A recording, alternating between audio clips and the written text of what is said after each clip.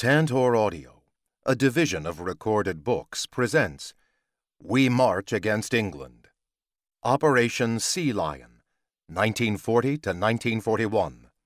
By Robert Forczyk, Narrated by Paul Boehmer.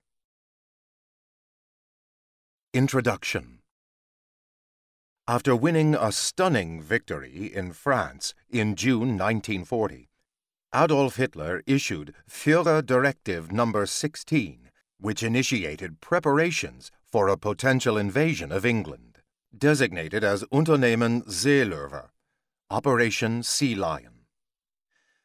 Consequently, the German Kriegsmarine, Navy, and Heer, Army, began improvising an invasion fleet, initially by gathering large numbers of river barges and small motor vessels and assembling them in the occupied Channel ports.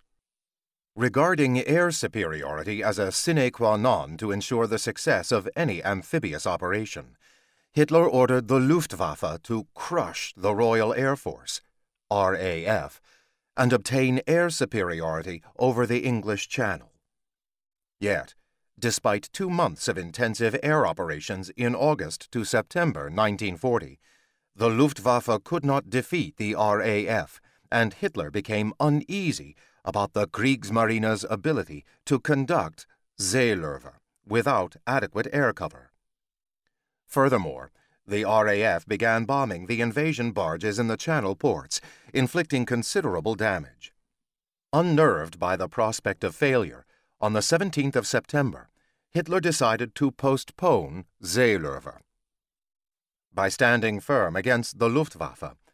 The few of RAF Fighter Command frustrated Hitler's plans to invade England and thereby inflicted the first major defeat upon the Third Reich.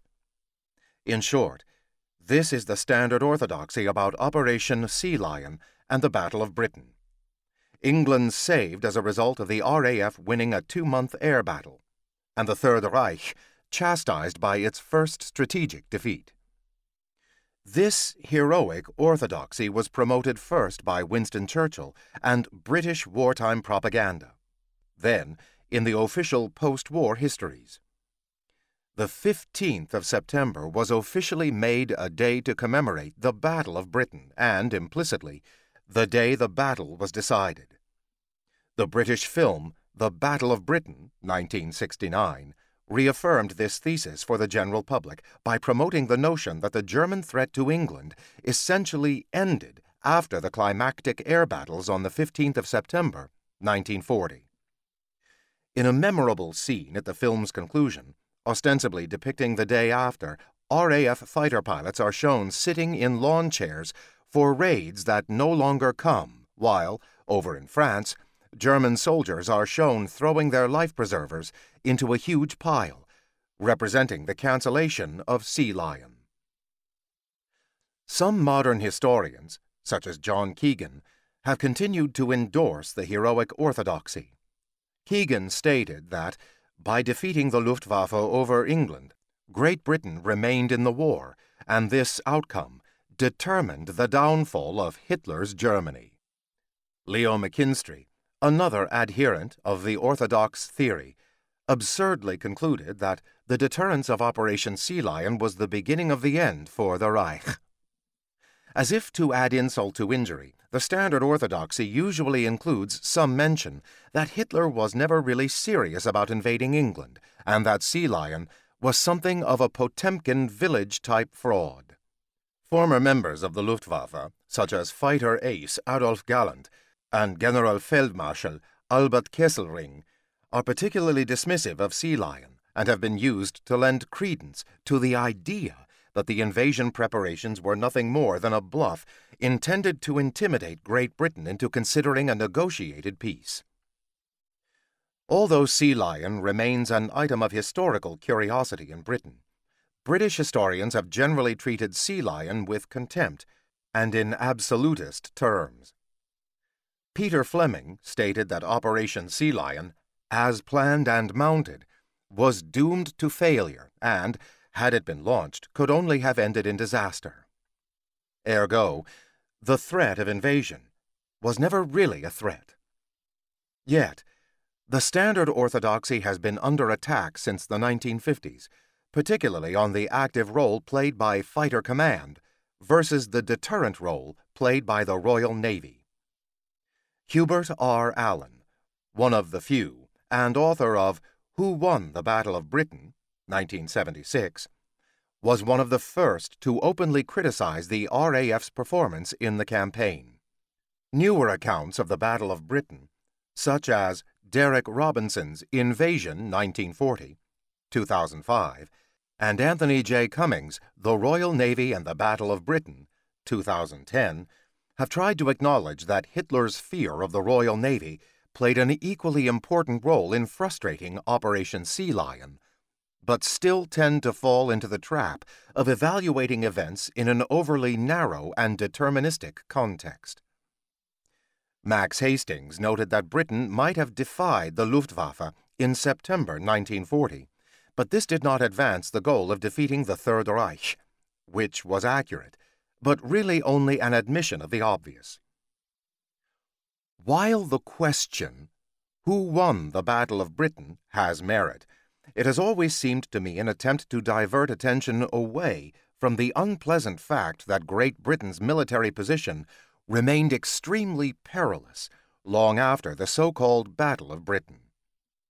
Despite what happened in the skies over England in mid September 1940, Great Britain's military situation was far more precarious than Germany's for another two years.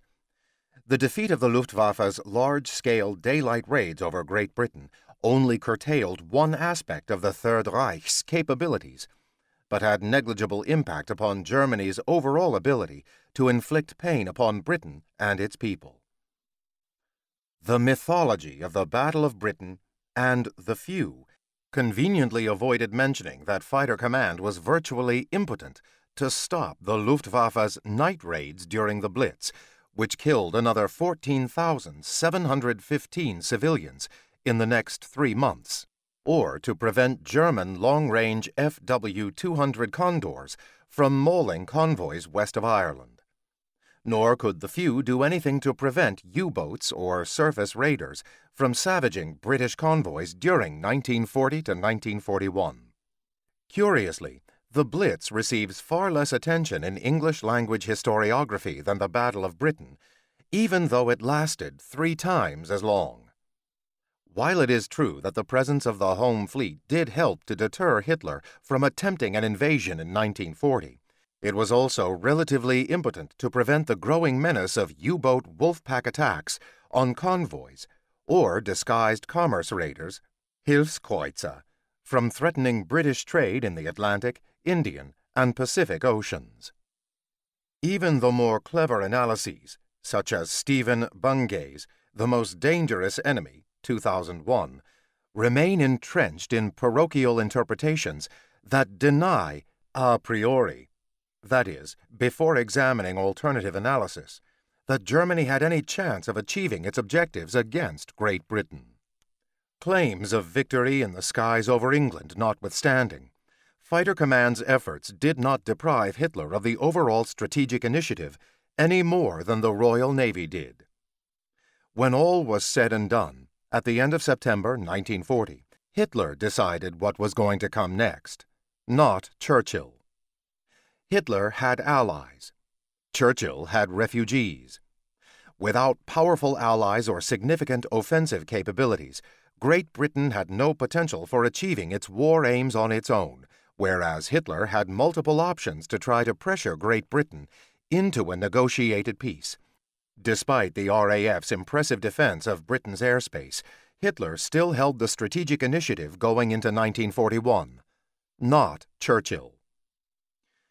Another troubling aspect of the standard orthodoxy about this period is the manner in which many post war historians have segregated the Battle of Britain, the Blitz, and the Battle of the Atlantic into discrete and non contiguous boxes, which is rather bizarre given that these were concurrent campaigns and were all part of Hitler's effort to force Great Britain to submit to a negotiated peace.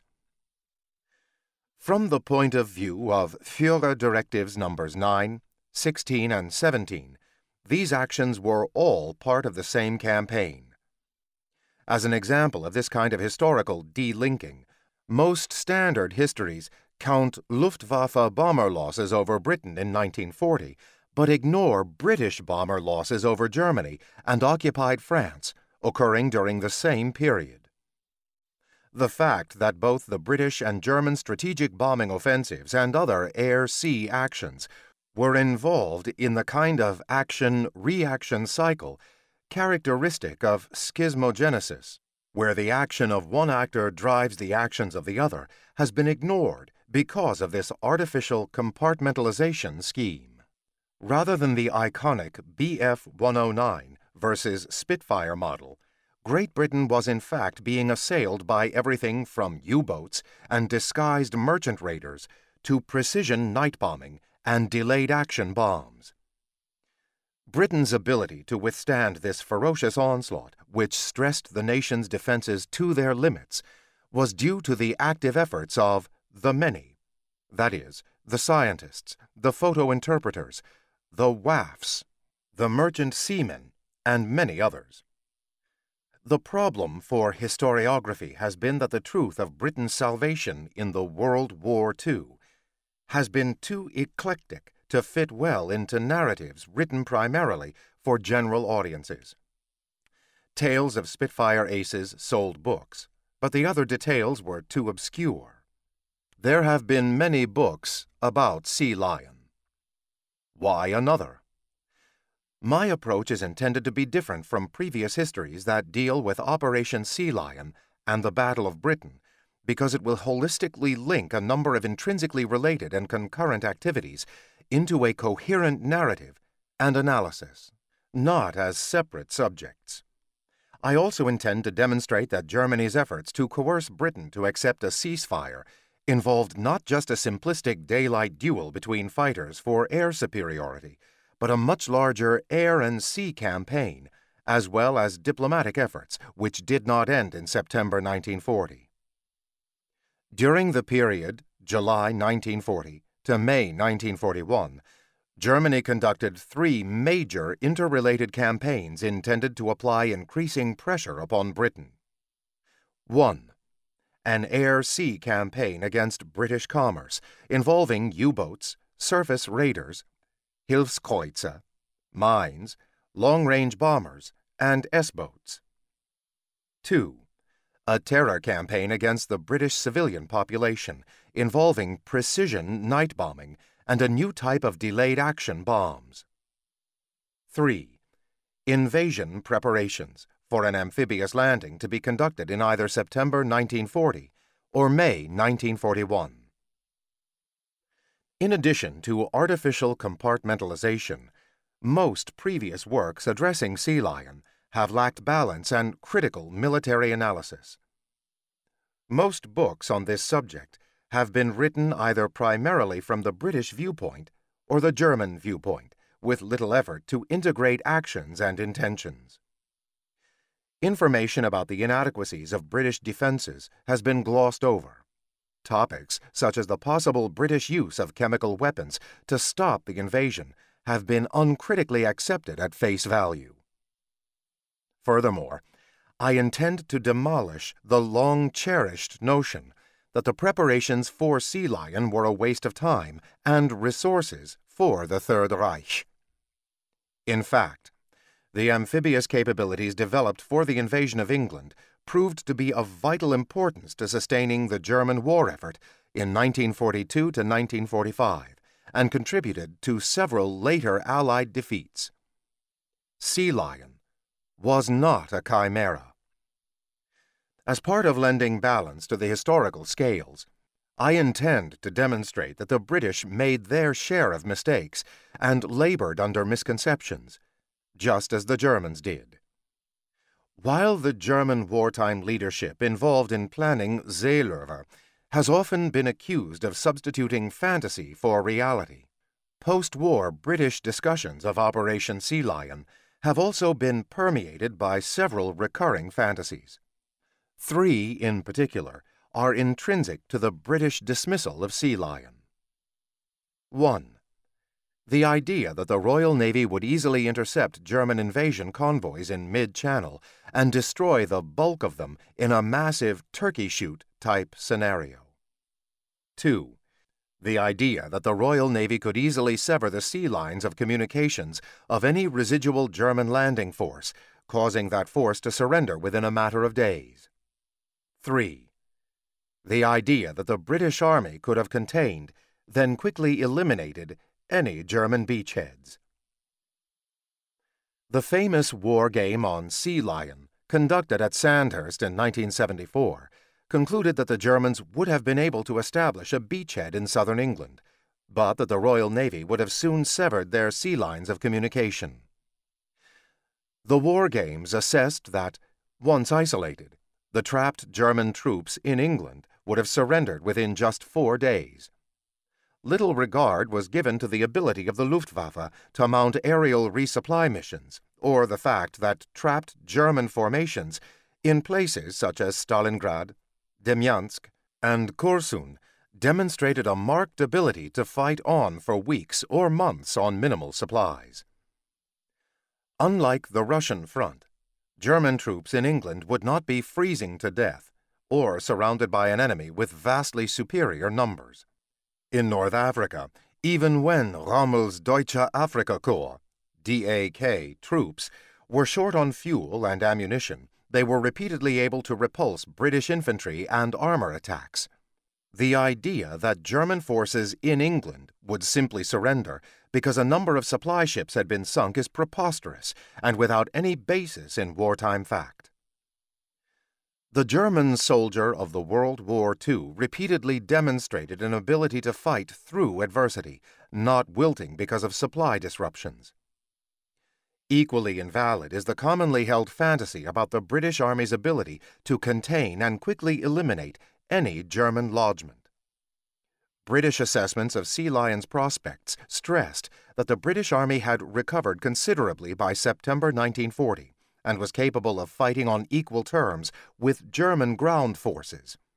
It was reckoned that 30 British divisions ought to be able to defeat the 10 German divisions in Sea Lion's first wave. Yet, sober analysis of ground combat between German and British units in the period 1940 to 1943 indicates a significant disparity in tactical competence between the two opponents. In North Africa, German ground forces were often at a logistical disadvantage, but still managed to best their British opponents through superior leadership and tactics.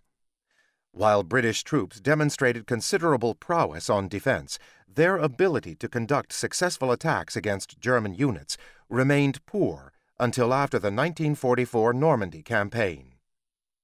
The record of failure in numerous attacks which have great bearing upon the British Army's ability to defeat a German invasion, is often conveniently swept under the rug. While it is true that British troops would likely have fought very hard to defend their own soil, this patriotic fervor would do little to ameliorate consistently weak tactical leadership and lack of tactical agility. It is not my intent to present a counterfactual or conjectural history of an operation that did not occur. That exercise has already been conducted by others. I also intend to be very restrained in the use of if as a qualifier. Rather, my intent is to demonstrate that history at critical moments often has options. It is not predetermined to proceed down the path that it actually did move along. Anyone familiar with military planning process is aware of branches and sequels that are developed to provide senior leaders with a variety of options to meet various circumstances. In the case of Sea Lion, Hitler was not preordained to cancel the operation because the Luftwaffe failed to break the RAF's fighter command. In fact, he continued to have the same strategic options after the Battle of Britain that he had before. Nor was Hitler preordained to eschew Seelöwe in favor of Barbarossa, and a well-planned invasion attempt in spring 1941 might well have been the decisive moment of the World War II. This is intended to be a complex historical narrative, premised on the idea that the outcome of significant historical events, like Germany's efforts to force Britain to the peace table in 1940 to 1941, were driven by multiple factors and that there was no single explanation. Chapter 1 Strategic Setting. June to July 1940 The Legacy of Dunkirk Britain had not begun to prepare seriously for war until after the 1938 Munich crisis, and then most of the resources were devoted to the Royal Air Force and the Royal Navy, not the Army. At the start of the World War II, Britain had 224,000 trained personnel in its regular army, which formed the bedrock of its ground combat capability.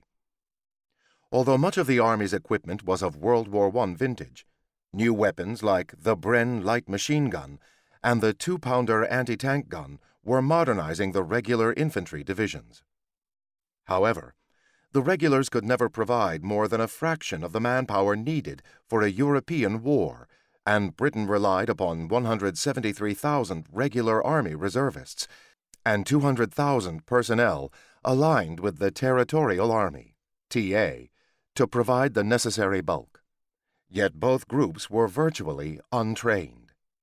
Conscription was enacted under the provisions of the National Services Act, which would enable the British Army to add another 600,000 personnel by spring 1940. In April 1939, Prime Minister Neville Chamberlain's cabinet approved a plan to outfit 32 divisions, 6 regular and 26 TA, by September 1941. The decision was made to double the size of the Territorial Army to over 400,000 men. In addition, several armored divisions would be formed and all infantry divisions motorized. This ambitious plan envisioned increasing the size of the Army tenfold, as well as equipping them with over 200,000 motor vehicles and 7,000 tanks. Four days after the British declaration of war, First Sea Lord Winston Churchill vehemently argued to increase the Army to 55 divisions, including 23 from the Commonwealth, but this suggestion was shelved. As it was, transforming over one million untrained recruits into an effective army of more than 30 divisions was a gargantuan task, and the War Ministry anticipated that 20 divisions would be ready by September 1940, and 12 more by September 1941. Chamberlain's Army program made no provisions for enemy action or losses and training of the second tier TA units was deferred. Thus, when the German Blitzkrieg opened in the West on the 10th of May 1940, the timetable for the British Army's expansion plan was completely wrecked. Instead, Britain went to war with an army that was intended more to demonstrate diplomatic resolve rather than to engage in large scale combat against a skilled opponent.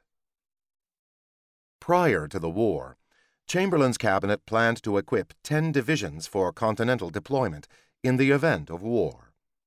On the 4th of September 1939, the British Expeditionary Force, BEF, under Lord Gort, began arriving in France and initially consisted of two corps, 1st and 2nd, each comprising two regular infantry divisions 1, 2, 3, 4. In December 1939, a 5th Regular Infantry Division was sent to France, followed by five TA divisions 42, 44, 48, 50, 51 in January to April 1940. In late April, three second line divisions 12, 23, 46 were also sent to France, as well as the incomplete 1st Armored Division. By May 1940, the BEF, on paper, consisted of 394,165 troops in 13 infantry and one armored division. However, only the five regular infantry divisions were adequately trained and equipped, even though civilian vehicles were still being used until sufficient military lorries became available. The newly raised TA divisions were much further behind, and the equipment they were provided was obsolescent. Particularly egregious was the dearth of tactical radios at brigade level and below, which made command or control of mobile operations problematic. British training was also highly deficient in a number of regards, being still primarily geared towards 1918 style tactics and unconcerned with the possibility of air attack. British armored units were far from combat ready, with a mix of poorly designed tank types and saddled with an incoherent doctrine. Optimistically, the British leadership hoped that the much larger French army, which had 74 divisions facing Germany, would conduct the bulk of any ground operations until the BEF was fully trained and equipped. On the 18th of December, 1939, the lead elements of the 1st Canadian Infantry Division arrived at Aldershot, in England, the first major Commonwealth contribution to the British war effort. Prior to the war, Canada had a tiny regular army of only 4,500 personnel backed by a 10,000 man militia. But the decision was made to send troops to Great Britain as soon as possible. The Canadian soldiers arrived without steel helmets, equipped with worn out Lewis guns and 18 pounder artillery pieces. Britain would have to outfit them with virtually all their equipment, adding to the delay of outfitting the TA divisions. Furthermore, three quarters of the Canadians were untrained recruits. By March 1940, the Canadian 1st Infantry Division grew to a 23,000 man force, and a second division was being readied in Canada. Australia also promised to send a corps with two infantry divisions to join the BEF in France, and New Zealand promised one division. But most of these troops were still training in Palestine or en route when France capitulated. When the German Western Offensive began on the 10th of May, most of the BEF moved into Belgium along with the best French divisions, intending to block any German turning movement into northern France, as had occurred in 1914. On the same day, Winston Churchill succeeded Neville Chamberlain as Prime Minister. Yet the German invasion of Belgium was not the main effort. That came further south, at Sedan, where Generaloberst Heinz Guderian's panzers from the 19th Armée Corps, motorized, smashed through second rate French divisions and quickly achieved a major breakthrough. Guderian's panzers advanced westward to the coast, and as fate would have it, the only Allied formation in their path was the 12th Infantry Division, a second line TA formation assigned to protect the BEF's lines of communications into Belgium. On the 20th of May, all three of Guderian's Panzerdivisionen overran the dispersed British territorials, completely demolishing the division. Its battalions suffered 80% losses, and the division was permanently disbanded. With that minor obstacle removed, the 2nd Panzer Division reached the English Channel near Abbeville and pivoted northward. Lord Gort's BEF and three French armies were now isolated. For a few days, the Allies attempted to mount a counteroffensive to reopen land communications to the south. But these efforts failed. As France wilted under the German onslaught, Churchill made a number of hasty decisions. He quickly realized that the BEF was in serious danger and that possession of the Channel ports was crucial to sustaining or evacuating Lord Gort's forces. The Royal Navy was already beginning to plan for an evacuation of the BEF, designated Operation Dynamo. But the Channel ports needed to be secured from Guderian's panzers, sweeping in from the south. In order to demonstrate British resolve, Churchill ordered British units sent to reinforce the French garrisons in the vital ports of Calais and Boulogne. On the morning of the 21st of May, Colonel William Fox Pitt's 20th Guards Brigade was dispatched from England by sea to Boulogne, where two battalions arrived the next morning. Fox Pitt's brigade was sent so quickly that his soldiers arrived in France with only 50 rounds of rifle ammunition each, no grenades, no anti tank mines, and no vehicles. Only eight hours after the guardsmen began disembarking, the vanguard of the 2nd Panzer Division reached the outskirts of the city. Local French troops, equipped with anti tank guns, knocked out a few German armored vehicles and gave time for the 20th Guards Brigade to deploy in a thin cordon around the city, which temporarily slowed the German advance.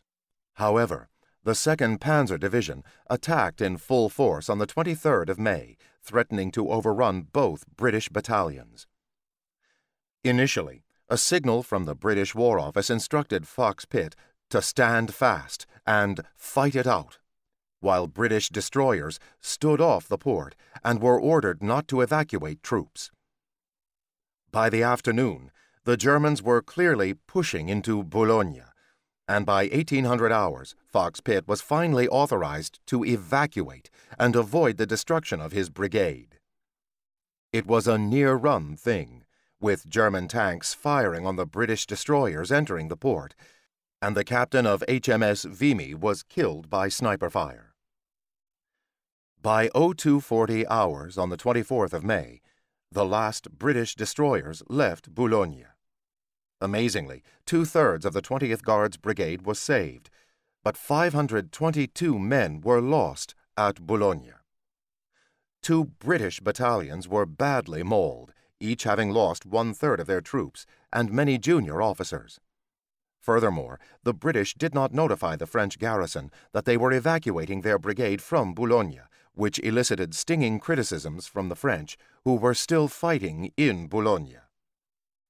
Churchill was personally offended by the criticism of French generals, who said that the British were being hypocritical and selfish, urging the French to stand and fight while evacuating their own troops. While the action at Boulogne was developing, Churchill's War Cabinet ordered Brigadier Claude Nicholson's 30th Infantry Brigade, two regular and one TA infantry battalion, one tank regiment with 48 tanks, to proceed from Dover by ferry to stiffen the defense of Calais. Nicholson's brigade arrived on the 22nd of May and had barely disembarked its combat echelons when the 10th Panzer Division began attacking Calais from the south. Amazingly, Nicholson's brigade was able to hold off the 10th Panzer Division for three days, but, unlike Boulogne, Churchill ordered that the hard pressed brigade would not be evacuated.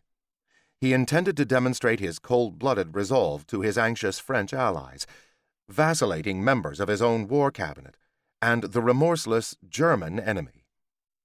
Nicholson's brigade made its last stand on the 26th of May and was overrun. About 300 British troops were killed and 2,900 captured. At the cost of an infantry brigade, Churchill had made his point to all. He intended Great Britain to fight on, no matter the cost. Meanwhile, the headlong German advance was temporarily halted on the night of the 23rd to the 24th of May, when German troops were within nine and a half miles of Dunkirk.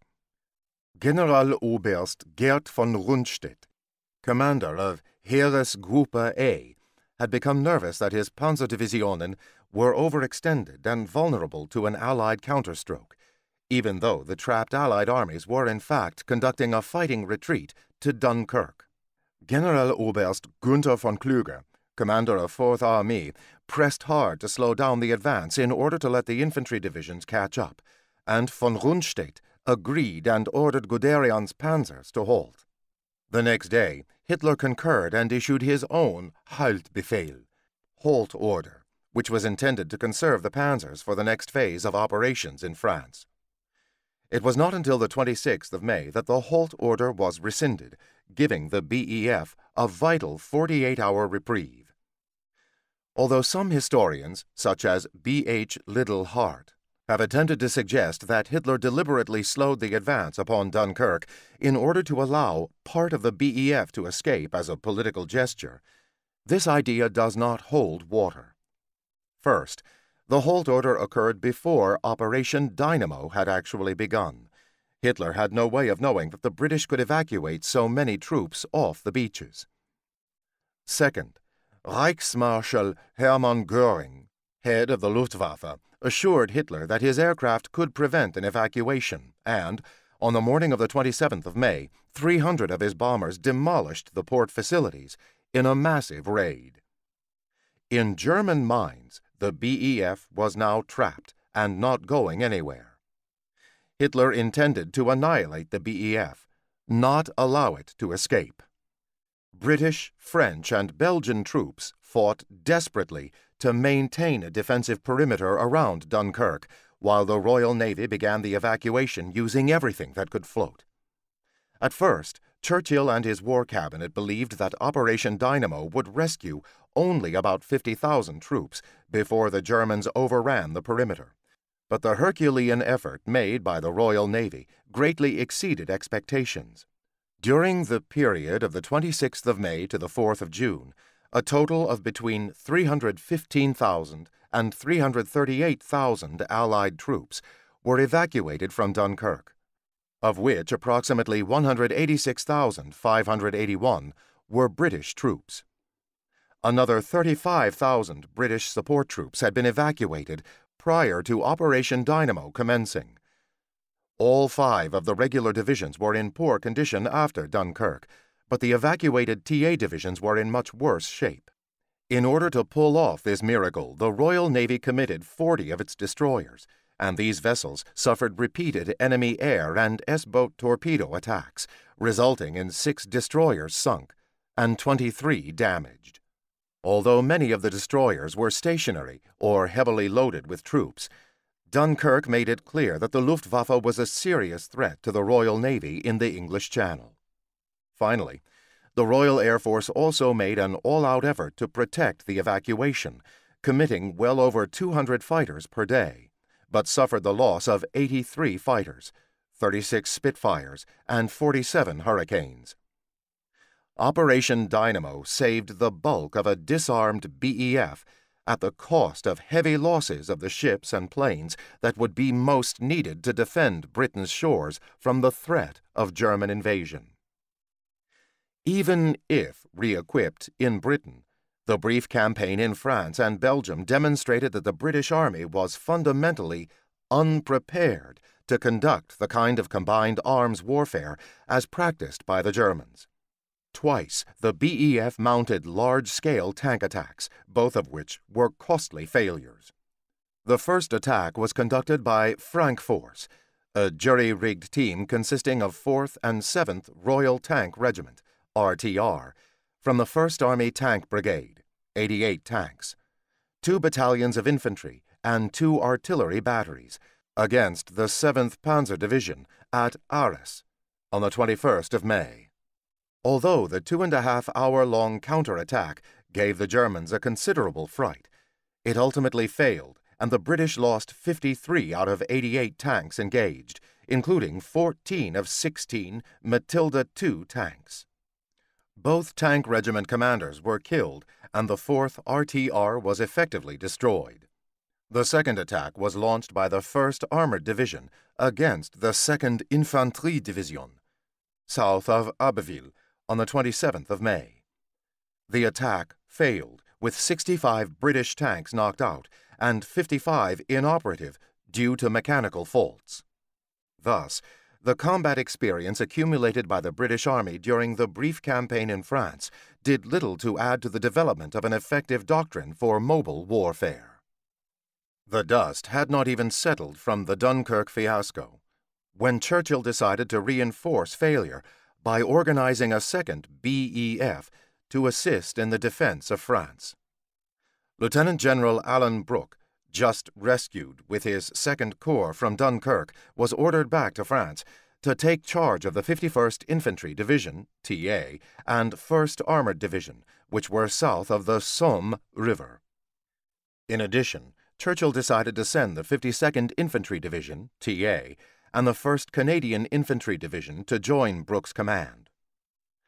Brooke had no chance to organize his scattered forces before the second phase of the German offensive vaulted over the Somme. Most of Major General Victor Fortune's 51st Infantry Division were cornered by German panzers near Saint Valery on the 12th of June, resulting in the surrender of two brigades with 10,000 troops. Two days later, the 1st Canadian Brigade arrived in Brest, just as the Germans were marching into Paris. Brooke recognized that the situation was rapidly unraveling, which Churchill finally accepted and agreed to evacuate the 2nd BEF from western French ports in Operation Aerial. The Canadian Brigade landed at Brest was forced to evacuate after just 48 hours in France. Although the Canadians saved their artillery, they abandoned all 216 of their vehicles, including brand new Ford F 15 CMP trucks, due to lack of transport. It was a humiliating and costly debut for no military gain. British materiel losses in France were catastrophic. At Dunkirk alone, the British Army lost 2,347 artillery pieces, 55% of its total inventory, 509 two pounder anti tank guns, 60% of its total, and 615 tanks, 47% of its total. In addition, the British abandoned 63,879 vehicles, as well as 76,000 tons of ammunition and 165,000 tons of petrol. Much of this materiel was incorporated into the German inventory for their own use. The loss of military trucks was particularly crippling since Britain only produced a total of 89,582 military trucks in 1940 and a similar amount in 1941. This meant that only a small portion of the British Army would be fully motorized for the next year. Some equipment was salvaged and returned to Britain almost entirely from the 2nd BEF, including 322 artillery pieces, anti tank guns, 22 tanks, and 4,739 vehicles. The 5th Royal Tank Regiment of 1st Armored Division was particularly fortunate and managed to ship seven of its 52 tanks back to England. Altogether, the British Army lost 722 tanks in France. However, the important point here is that the only fully equipped divisions in the British Army had been in France, and now they were virtually denuded of equipment. The TA units left in England were, at best, partly equipped and trained. While Britain's production of aircraft was ramping up quickly in the summer of 1940, domestic production of weapons for the Army was still so anemic that it would take more than a year to re equip the regular Army and outfit the territorials. The manufacture of tanks had not been a priority before Dunkirk, and only 392 tanks were built in July through September 1942, of which 147 were cruisers, 227 infantry tanks, and 18 light tanks. Regular units like the 5th Royal Tank Regiment were re equipped with A 9 and A 13 cruiser tanks in July through August, but the territorial armored units had to make do with light tanks or armored cars until 1941. Manufacture of the Mark VI light tank ceased and the new Mark III Valentine entered serial production in September 1940. Artillery and anti tank production was a particular shortfall, with not enough of the new 25 pounder Mark II guns to go around until mid 1941. Even rifles were a problem, with an average of just 8,600 completed at the Birmingham plant each month. However, production of small arms ammunition, over 40 million rounds per month, was adequate, and 442 million rounds of .303 caliber ammunition were available by September. Likewise, the stockpile of artillery ammunition was adequate. The supply of uniforms was adequate even to outfit much of the Home Guard within a few months, but the quantity and quality of some items was substandard. Amazingly, the same nation that was able to mass produce Spitfires was unable to provide its soldiers with more than one pair of socks, and they were of such poor quality that infantrymen found it difficult to march in them. In human terms, the British Army suffered about 17% losses in France, comprising 4,206 killed, 52,165 missing, and 16,815 wounded. A disproportionate share of these losses were in the infantry battalions, which had an authorized strength of 668 men, including 22 officers. Altogether, over 38,000 infantrymen, the equivalent of 57 battalions, were lost. The artillery also suffered 7,332 casualties, which left the British Army with very few trained artillerymen after Dunkirk. Likewise, the loss of almost 3,000 British officers severely impacted the ability of the British Army to train new recruits. Dunkirk decimated the regular British Army and the few trained territorial units. In the 2nd Infantry Division, a regular army formation, four of its infantry battalions were virtually destroyed. The 1st Battalion, Queen's Own Cameron Highlanders, only had 79 survivors. The 1st Battalion, Royal Welch Fusiliers, had about 150, and two of the battalions in the 4th Brigade, about 200 each. In the 3rd Infantry Division, the 4th Royal Berkshires suffered over 50% losses, and in the 48th Infantry Division, the 2nd Battalion, Royal Warwicks, only had 137 survivors. The 51st Highland Infantry Division, a territorial formation, lost six infantry battalions in toto. Once back in Britain, these divisions had to replace enormous gaps in their organizations, which often meant transferring support personnel into infantry billets. Replacing junior enlisted soldiers is one thing, but experienced NCOs and company commanders do not roll readily off assembly lines. Furthermore, the loss of so many regular soldiers in France meant that there were fewer skilled professionals to train the TA divisions. Consequently, it would take even longer to bring the TA divisions up to the standard of combat readiness that would enable them to successfully fight German divisions. British infantry units after Dunkirk were in poor shape for some time and particularly lacked tactical radios, mortars, and transport. Some infantry battalions were given bicycles or civilian buses, but this did not solve the problem. In the 59th Staffordshire Infantry Division, a second line territorial formation assigned to protect the northern coast, the unit was provided with lorries from Newcastle breweries. Since the vehicles were only on loan to the Army, they retained their commercial liveries and could not be painted as military vehicles. In essence, much of the post Dunkirk British infantry was like the static German divisions defending the French coast in 1942 to 1944, bereft of first line equipment and woefully short of experienced junior officers and NCOs.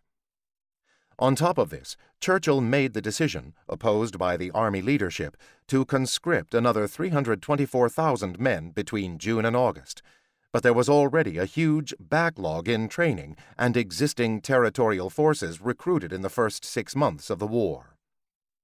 These new recruits were formed into 122 home service or holding infantry battalions and provided with American made rifles when they became available, but they were little better than home guard units.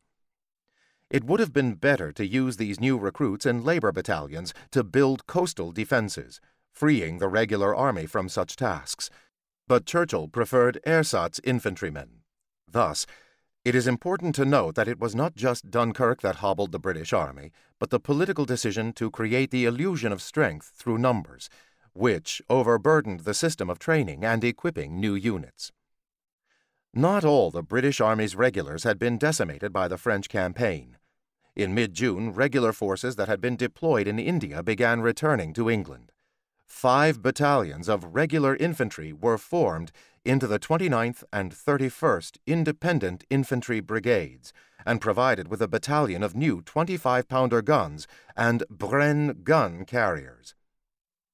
While these two brigades were a godsend to the depleted regular forces, these troops required considerable retraining after years of distant colonial service.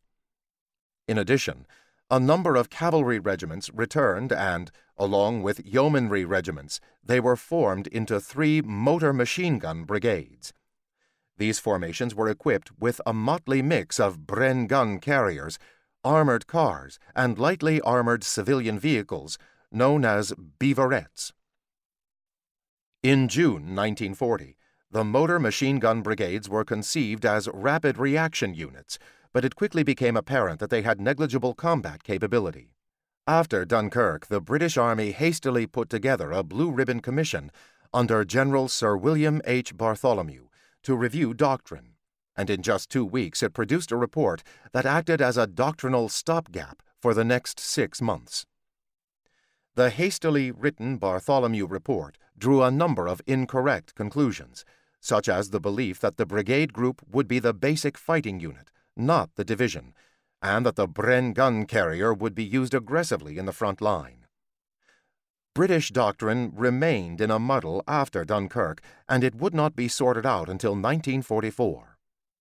Troops that were regarded as trained in 1940 often had little live fire experience, and much of their instruction was rote learning from outdated manuals.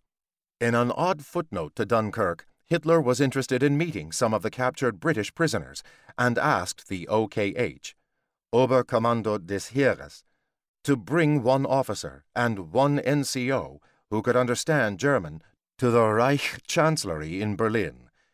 It is likely that Hitler wanted to personally assess the morale of British soldiers. After talking with them for a while, Hitler said to them, Well, boys, when you write home, you can write that this war is unnecessary. Churchill maneuvers to keep Britain in the war.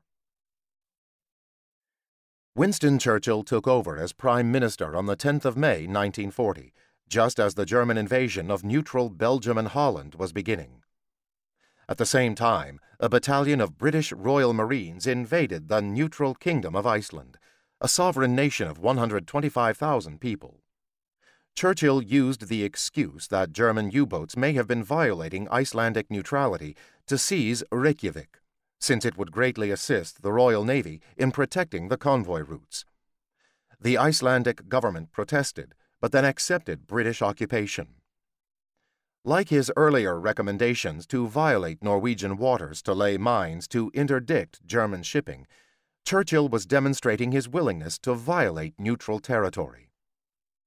Unlike his predecessors, Stanley Baldwin and Neville Chamberlain, Churchill was politically insecure. Chamberlain was still head of the Conservative Party, not Churchill, and he had no time to soberly consider preventative measures but could only react to each succeeding crisis. In just six weeks, Churchill watched as France was beaten to its knees and defeated. Up to this point, all of Britain's strategy had been geared towards fighting a coalition war, with Britain focusing on naval and air operations against Germany, while France and other allies conducted any ground campaigns. Yet, not only did Britain lose its primary ally when France capitulated, but Italy joined the Axis side, thereby opening up a new theater of operations in the Mediterranean and North Africa. By the end of June, Britain's strategic situation had markedly deteriorated, and the only two game changers, the United States and the Soviet Union, were waiting to see how events played out. Six weeks before Hitler ordered preparations for an amphibious operation against Great Britain to begin, Churchill was speaking about the threat of enemy invasion in the House of Commons on the 4th of June. As Dunkirk was being overrun, Churchill famously stated that we shall defend our island, whatever the cost may be. We shall fight on the beaches. We shall fight on the landing grounds. We shall fight in the fields and in the streets. We shall fight in the hills. We shall never surrender. Yet not everyone in Britain's government was so confident. Josiah Clement Wedgwood, a Labour Member of Parliament for Newcastle under Lyme, had given a speech in the House of Commons on the 7th of May, 1940, pointing out that if the Royal Navy could not stop a German invasion of Norway, it was possible that the Navy might not prevent a landing in England either. Wedgwood was no wilting lily, but a veteran of the Boer War, Gallipoli, and Siberia in 1918. Like Churchill, he ardently opposed Chamberlain's appeasement strategy, and he was one of the first to join the Home Guard, though aged 68. If staunch defenders of the Empire like Wedgwood doubted the war effort, Churchill's rhetoric would not be enough. Churchill actually got on well with Wedgwood, who was cut from the same cloth as he was, but he could not afford doubt to be introduced into the British war effort. Instead, Churchill used his vaunted rhetoric as his primary weapon. He boldly proclaimed that we shall not be content with a defensive war, letting both Hitler and the British people know that he intended to wage real war, not merely hold out on an island fortress. However, Churchill had inherited a cabinet that included men deeply involved with pre war appeasement policies, as well as labor politicians who viewed him with innate hostility. Initially, Churchill had no real political allies in his coalition cabinet, and the majority opinion among these men was psychologically at odds with Churchill's aggressive attitudes towards the war. Churchill also had to face the difficulty of waging protracted war in a modern democracy the British population was infused with pacifist thinking, much like the French, and fearful of terror bombing. The civilian casualties caused by the Luftwaffe's attacks on the Spanish town of Guernica in April 1937 and the Dutch city of Rotterdam in May 1940 had left a particularly poignant impression. In early 1939, the British Ministry of Health estimated that there could be 1.8 million casualties in the first six months of enemy bombing, although these estimates were later proved to be wildly inaccurate. They seemed credible in July 1940. On top of this, Chamberlain's government had failed to properly articulate British war aims or a path to victory, so it was difficult for the population to accept sacrifices when the objectives being sought were ambiguous. How long would conscription and rationing go on? And to what end? Thus, Churchill was faced with steering Great Britain towards a commitment to all out warfare, despite lack of political support within his own cabinet and an apprehensive, unmotivated population. Churchill's inner war cabinet consisted of himself, Neville Chamberlain, Lord Halifax, Clement Attlee, and Arthur Greenwood. It is unlikely that there has ever been a group in charge of making strategic decisions whose members held more divergent viewpoints. The War Cabinet met at least once daily, sometimes twice. Churchill's only real allies were in the Outer Cabinet, which included Secretary of State for War Anthony Eden. Essentially, Churchill was the hawk who had long opposed Chamberlain's appeasement policies and urged rearmament. The fact that he had been proved right about Hitler's intentions did not create much political capital among his own Conservative Party peers. Churchill's reputation for reckless behavior, highlighted by his connection to the 1915 Gallipoli fiasco, had stuck to him like glue throughout his career. While the cabinet may have grudgingly admitted that Churchill had been more prescient than they had been about the turn of events, that did not mean that he had a workable solution to lead them either to a military victory or an honorable peace. Apparently, on his own initiative, Lord Halifax met with the Italian ambassador in London, Giuseppe Bastianini, on the 25th of May. At this point, it looked as though much of the BEF would be lost in France. According to Halifax, Bastianini said that Italy was willing to broker peace negotiations between Germany and Great Britain, although the discussions were vague. On the 26th of May, Halifax presented the idea to the War Cabinet of using the Italians to open peace negotiations with Germany, claiming that Mussolini could persuade Herr Hitler to take a more reasonable attitude. But Churchill was adamantly opposed, at least in public, to negotiations with Hitler. Although Churchill had spoken about the possibility of negotiations with the enemy in September 1939, he was disinclined to negotiate from a position of weakness brought about by the defeats in Norway and France. Halifax drafted a memo to the Italians that said that Great Britain would consider any proposal that promised a secure and peaceful Europe, and argued within the cabinet that Britain should try to get the best peace deal that it could before the military situation grew worse. Churchill insisted that Hitler could not be trusted to honor any agreements, while Halifax spoke of a European equilibrium. For the next three days, the War Cabinet was plunged into crisis as Halifax aggressively pushed the other members to consider the possibility of a negotiated settlement, and Chamberlain supported this proposal as well. There was also some support within Parliament for negotiations, particularly from the 77 year old David Lloyd George, a group of 30 Labour MPs led by Richard Stokes. Churchill argued that resistance to German aggression was the only viable course, since any settlement imposed as a result of German military victory in France would inevitably result in the destruction of our independence. In particular, Churchill stated that Hitler would force Britain to end its rearmament programs, which would keep Great Britain in a position of military inferiority. To be fair to Halifax and Chamberlain, Churchill had no idea what terms Hitler might offer, and provided no insight into how his policy of stubborn intransigence would lead Britain to a better situation, other than more sanguinary rhetoric about the conflict, only ending when each one of us lies choking in his own blood upon the ground. The outer cabinet applauded this speech, apparently thinking he was referring to someone else's blood. The very idea of Great Britain considering a negotiated settlement with Hitler in 1940 remains something of a taboo subject, even after 75 years. But Churchill's refusal to listen to Halifax and others in the cabinet was a strategic mistake. As Cambridge historian David Reynolds has argued, Churchill based his decision to keep Britain in the war on two faulty assumptions that Germany was near economic collapse and that the United States would soon enter the war. Yet, there was not one hard shred of intelligence to suggest that either assumption was correct. Churchill simply wanted them to be correct. Churchill made many mistakes during the course of the war, and the outright rejection of negotiation would prove quite costly to Britain. Churchill knew that Hitler was not likely to seek a punitive peace with Great Britain, but rather a quick end to hostilities so he could consolidate his conquests.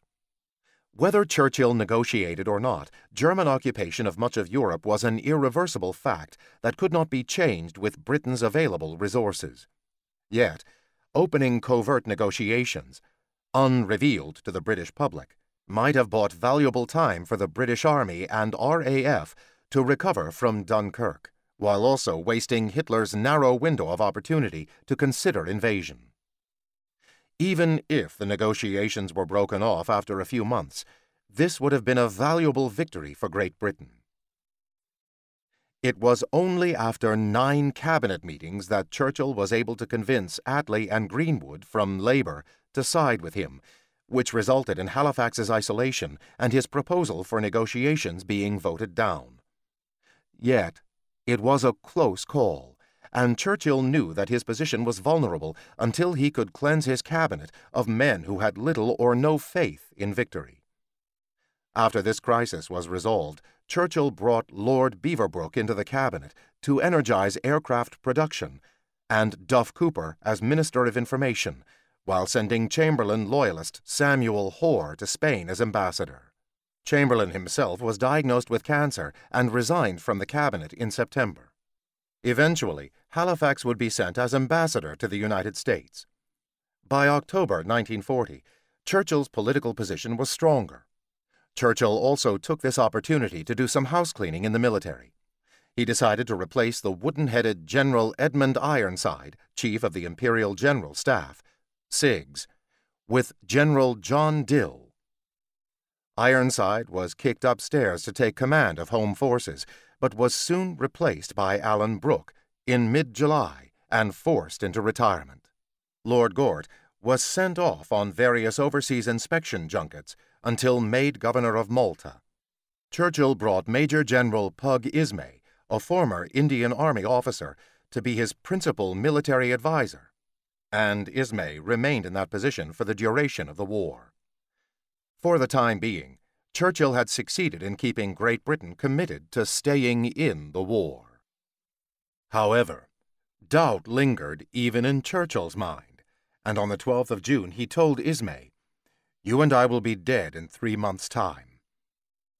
This unguarded remark, like his earlier speech about choking in one's own blood, indicated a fatalist streak in Churchill, which has now generally been whitewashed from the Battle of Britain narrative. Britain, far from alone, but without a strategy. When Churchill said on the 14th of July, 1940, that we are fighting by ourselves, alone, he was, of course, overlooking the fact that Britain controlled an empire that directed one fifth of the Earth's population. Britain's Commonwealth allies, Australia, Canada, New Zealand, and South Africa, had already committed ground, naval, and air forces to participate in the European war and were preparing substantial reinforcements. Yet, even more vital in the long term, was the Commonwealth partners' contributions to operating the Empire Air Training Scheme, EATS, which was expected to train up to 50,000 aircrew for the RAF per year. Prior to the war, the RAF relied upon small service schools to train pilots and aircrew, but this was insufficient for large-scale expansion in wartime. By April 1940, Australia and Canada were running basic flight training schools, which were invulnerable to enemy air attack and which opened a steady pipeline of trained aircrew for the RAF. Without the flight schools in Canada, the RAF's ability to replace combat losses and build up bomber command into an offensive force would have been severely curtailed. Churchill also deliberately chose to ignore the fact that Great Britain still had one significant foreign ally Poland. At the outset of the war in September 1939, the Polish Navy arrived in Scotland with the destroyers ORP Burza and Błyskawica, and they were soon put to hard use in escorting Atlantic convoys. After the fall of France, General Władysław Sikorski brought about 30,000 Polish troops to Great Britain, enough to form two rifle brigades by late September to help defend the Scottish coast. General Dill reported to the British cabinet that the Polish troops appeared to be of good quality and would be re-equipped with surplus infantry weapons received from the United States. The Polish Air Force also provided five squadrons for RAF Fighter Command and four for Bomber Command.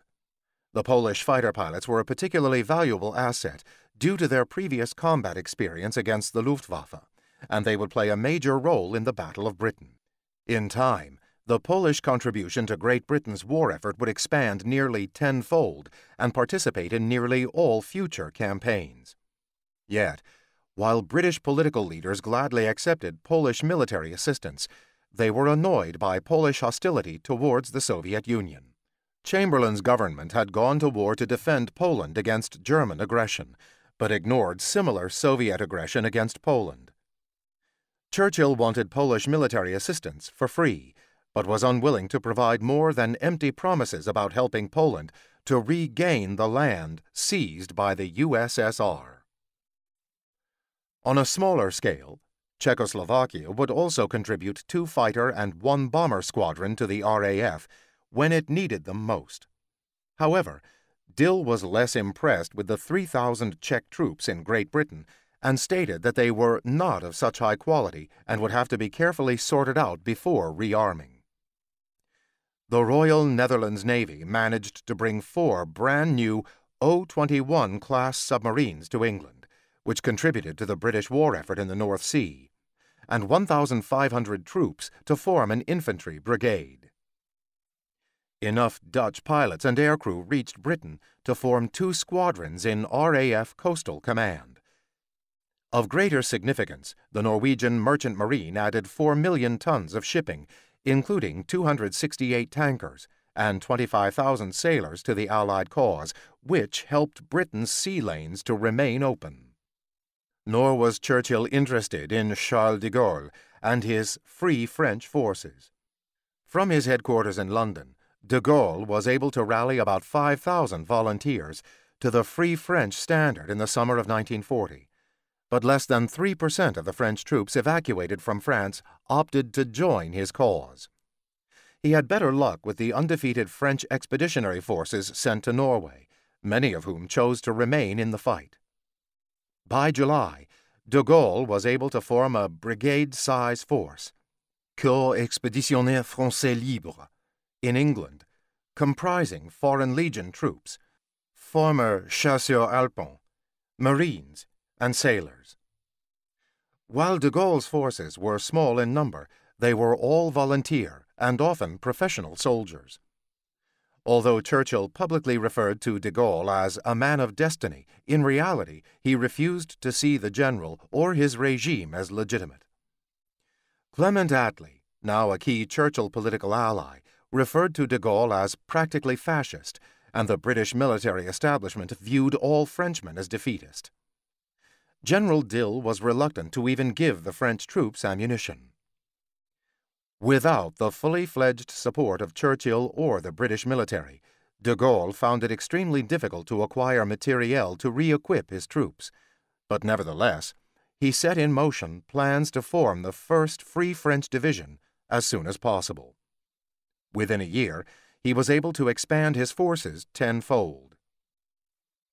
Churchill, like many Englishmen, including King George VI, was relieved to be free from operating within the constraints of an alliance with France or other continental powers. Traditional Francophobia was exacerbated by the sudden collapse of the Third Republic and the creation of the Vichy regime, which caused Churchill and his war cabinet to lose all objectivity in regard to France. Churchill openly referred to the French as traitors to the Allied cause, and within the British military there was widespread contempt for the failure of the French to fight harder. The ink was hardly dry on the capitulation document when Churchill suggested at the cabinet meeting on the 22nd of June that steps be taken to prevent the modern French battleships, Richelieu and Jean Bart, and the battle cruisers Strasbourg and Dunkirk from falling into German hands, even though all four were in North African ports. He ridiculously claimed that these four ships could determine the outcome of the war, and bluntly stated that rather than risking German seizure of these warships, we should have to fight and sink them. Halifax suggested that diplomacy should be used to win over the French Navy in North Africa, but his voice carried little weight now. Admiral Francois Darlan, commander of the French fleet, personally assured Churchill that no French warships would fall into German hands. But Churchill refused to accept this and began pressing the cabinet for a military solution to neutralize all French warships. Another indicator that the War Cabinet was not making decisions based solely on direct threats to Great Britain was a suggestion by Admiral Sir Dudley Pound, First Sea Lord, that French oil facilities in the port of Marseille, in the Free Zone, not controlled by Germans, should be bombarded by the Royal Navy. On the 23rd of June, the Cabinet ordered the Royal Navy to intercept the French cruiser Émile Bertin, which was carrying 60 million pounds in gold to Martinique. Churchill cynically stated that we should keep the gold in trust for the French Empire, but that they must fight for it. However, the French gold safely reached Martinique. In reality, the idea that the Germans could seize French warships in North Africa and provide them with trained crews to sail them out to do battle with the Royal Navy was preposterous, and the Royal Navy leadership told Churchill that his hypothetical scenario was unrealistic. However, Churchill had no strategy after the fall of France other than to hold on, but defensive war was not to his taste. Instead, he preferred aggressive actions to gain the strategic initiative but often with little or no consideration for the consequences. Just six months before, as First Lord of the Admiralty, Churchill had advocated Operation Catherine, sending a good portion of the home fleet into the Baltic to raid German merchant shipping, completely ignoring the threat posed by the Luftwaffe, mines, and U-boats. The operation was cancelled. In late June 1940, the only viable offensive tool available to Churchill was the Royal Navy, and he was intent on using it to demonstrate to all and sundry that Britain had the determination to fight on. While the War Cabinet was considering what to do about the French fleet, another target of opportunity presented itself. A flotilla of four Swedish destroyers purchased from Italy in March 1940 was near the Faroe Islands, which the British had occupied. We hope you enjoyed this preview. To continue listening to this audiobook on Google Play Books, use the link in the video description.